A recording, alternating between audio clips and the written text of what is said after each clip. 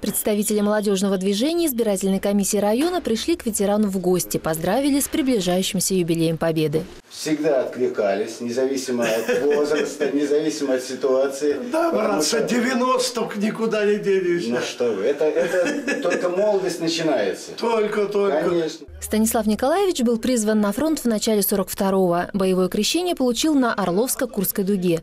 О своих боевых заслугах ветеран рассказывал недолго. Участвовал в боях, был ранен, но выжил. Дождался победы, и все эти 70 лет 9 мая для него, бывшего пехотинца, главный праздник.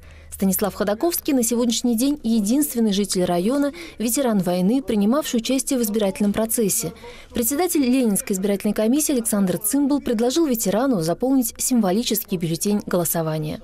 Сейчас э, молодежное движение области и чуть-чуть по России в целом, ну, вроде бы как хотят э, восстановить немного события того времени. Вот э, поэтому есть такая ну, такое, может быть, символическое голосование за победу. Вы за победу проголосовали вместе со своими друзьями тогда, когда держали в руках оружие, когда защищали, помогали всем. Но вот сейчас у нас есть такой символический э, бюллетень для голосования э, за победу. Смысл такой, что вы подтверждаете этим документом, что вы да, воевали, и вы тогда проголосовали, а сейчас вы подтверждаете это.